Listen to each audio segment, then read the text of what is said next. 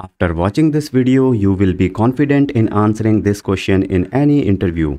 If you want to cover all the .NET interview questions, then please click on like and subscribe buttons. So let's start. How to optimize a stored procedure or SQL query? This is a performance related question. Uh, let me show you the screenshot here.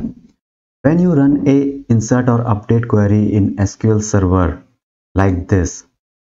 Then you will see these messages. One rows affected one row affected like this. So inside a sp when you are writing any sp there is no need to show these messages. Because anyway they are occupying some memory might be very little but yes. So one way is to set the no count on.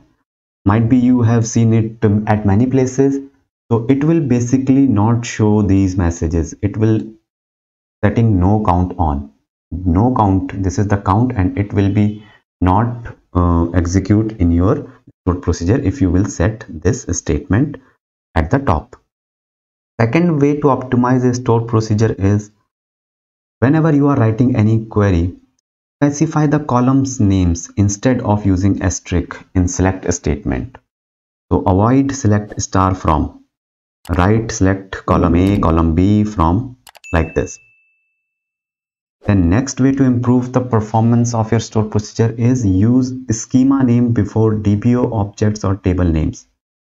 For example, if you have an employee table, then DBO is the schema which is the most common schema or you might be have any other schema as per your project. So use it before the table name. Because if you have more than one schema, then this query will check in all the schema that where, where is this table. And that is again not good for performance. Next is do not use dynamic queries. They are vulnerable to sql injections. Dynamic queries are runtime queries. I can uh, this is a different topic although but uh, if you know about them this can be a point that do not use dynamic queries because somebody from the outside can write can insert these dynamic queries in via the SQL injections. Next is use exists. Uh, you have might have seen like if exists this statement uh, in lot of stored procedure.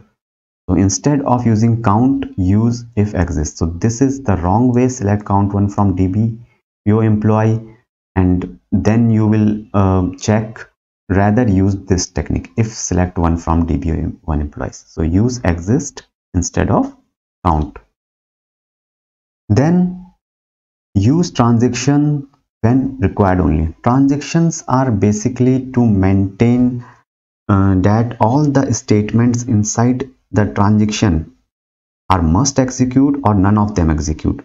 So you are if you are writing a transaction statement and inside this transaction between the begin and end if there are three statements uh, all of these three statements will execute or none of these three statements are execute. That is a good practice but use them only when required. If it is not required do not use them in your stored procedure.